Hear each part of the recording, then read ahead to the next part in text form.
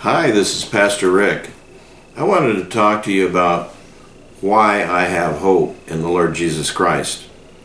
Matthew 12, verse 15 says, Great multitudes followed him, speaking about Jesus, and he healed them all.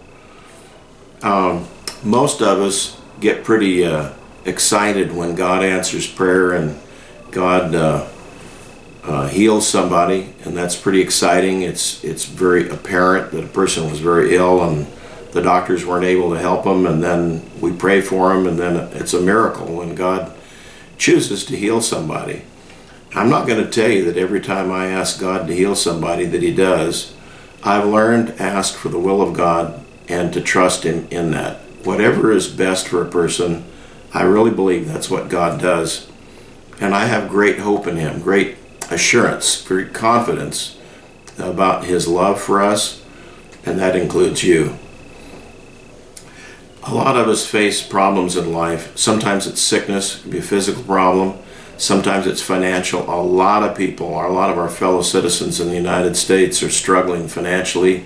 Many are struggling to look for work. A lot of people have dropped out of the labor pool, which has caused the unemployment rate to decline because there's less people looking for work and people have dropped off of unemployment. There's a lot of hurting people around us today.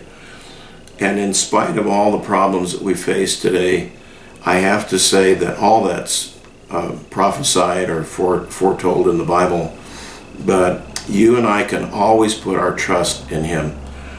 Um, whatever my condition or your condition, Jesus Christ is our great physician. I often pray that the Lord, as the great physician, would minister to people according to His will and His great knowledge and His great power. And I have seen Him do amazing things in the lives of people. And uh, we uh, encourage you to put your faith and trust in Him. I, uh, I have hope that He could heal me of any disease, but I also know that if He chooses not to heal me of a specific disease, He has a good purpose in that. And I don't lose my confidence in Him and I don't panic. I just trust that whatever He allows me to go through, He has a reason and a purpose for it. And uh, I can always, no matter what I'm going through, have confidence and have assurance in my heart.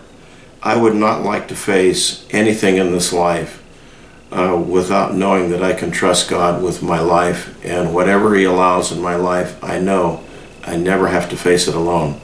If you put your trust in Jesus Christ and you uh, just know that He's going to be with you and never leave and forsake you ever, then no matter what you or I ever face in our life, you and I know we never have to go it alone. We've always got Him with us. Sometimes friends forget to be there for us or they're not able to be there. Sometimes family has got other things they're busy with and they can't be there. But I know one person who is always with us when we put our faith and trust in Him, and His name is Jesus. He is my hope. He's my living hope. He's my living hope because He died for my sins and was buried and rose again, never to die again. He's alive today. And you can trust Him just like I do and know that you have living hope within you when you walk with Him and when you trust Him.